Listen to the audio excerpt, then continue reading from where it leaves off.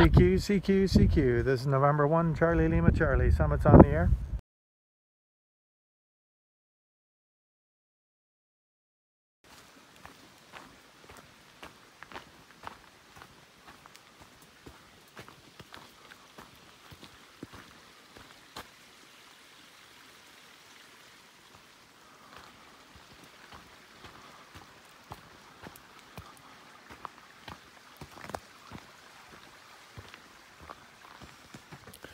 I can hear the water running down there.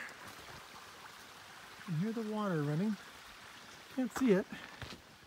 Probably see it from up here. So nice to have that in the background.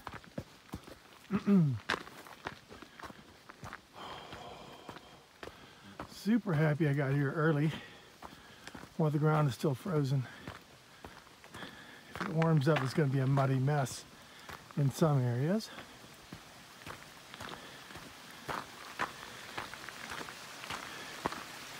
No need for spikes up here, thank God.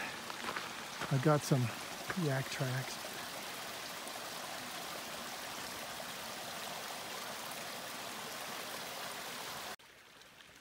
Probably why I like this trail so much is it's one of the few that I've been on in this area that have a little bit of water flowing by.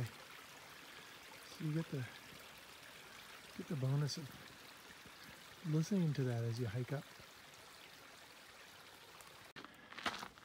Moving into a little bit more consistent. Hard, hard pack. Probably came down as rime or something.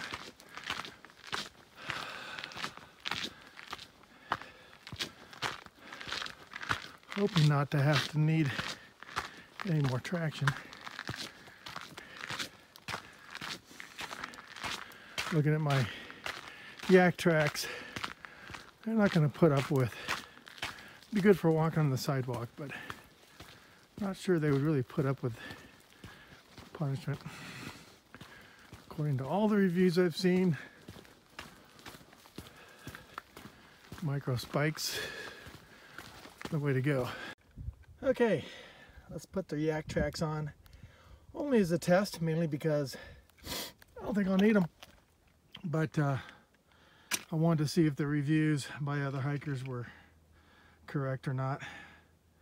Um, and then we'll go from there. That's pretty nice out here. I have my hiking poles, so uh, I can feel the difference. A lot more grip. Uh, I guess the question is, can they put up to the punishment of more difficult conditions or just hiking up a hill so versus slick sidewalks. Super easy to put on you just slip the rubber things on and tie off the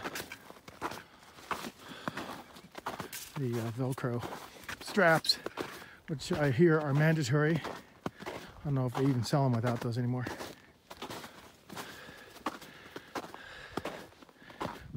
The uh, Micro spikes are made out of chains.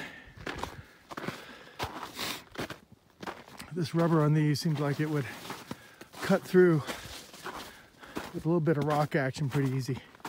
We'll see. So far, some nice views on the way up. Not as green as last year because I got a little bit later start where they had more moisture.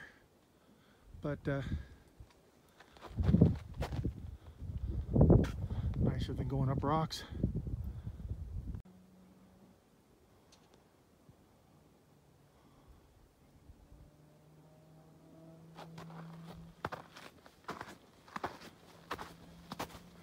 I love the sound of crunching snow under your feet. Looks like it's to be windy at the top. Froze my butt off last time I was here in March. This is January. So no gloves. I got three layers on right now. Um, but I got puffy jacket and shell with hoods and ski masks and so Hopefully I will weather it a little bit better today.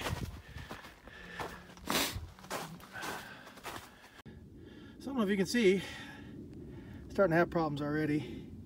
These things slipping around. They're just kind of held on with rubber bungees. So heavy hiking is not going to be kind to these guys. Certainly you're going to have to watch them. If you have these, watch them. Um, make sure they, they don't come off like a lot of hikers have mentioned and you don't get stuff like this. Okay, this is where the trail crosses the uh, access road. I'm getting rained on here from the tree. Um, I'm going to continue on and uh, you can see the antennas and stuff up there. Zoom in a bit. That's where we're going, almost there. Easy, lovely hike. Let's rock on.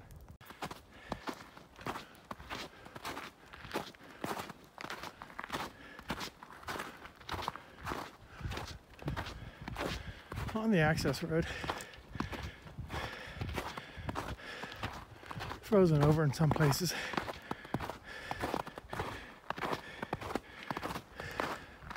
About time to put on my gloves again.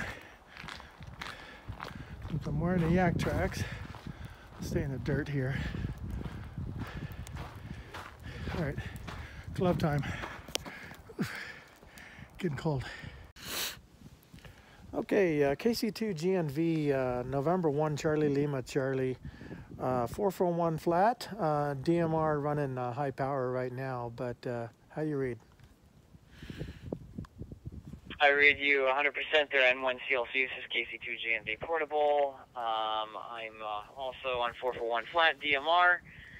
Currently using Anytone 868, uh, transmitting with a Wouxun uh, stock antenna um, and uh, transmitting turbo power. How copy? Yeah, Roger, Roger. I'm switched to low power. Uh, you're coming in full quieting, just absolutely great uh, studio quality sound. Uh, I switched to low power. How do you sound now?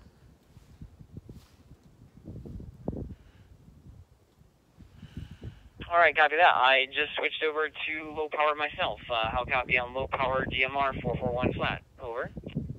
Yeah, no, no change. Uh, still sounds great. Uh, let's go over to FM and uh, just do a quick comparison, then we can call it a day. All right, copy that. Uh, going analog on 441 flat. KC2 GNV clearing QSY.